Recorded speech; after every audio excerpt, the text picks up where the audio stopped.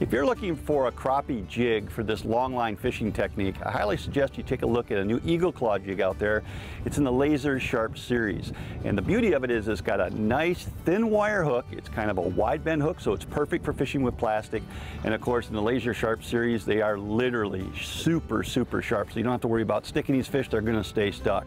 And uh, you're gonna find them in the 132nd, 116th, 1 8th, 1 quarter, and even 3 8 ounce sizes. So if you're a jig guy, check out these new jigs. I think you'll find they are absolutely dynamite for crappie and other species.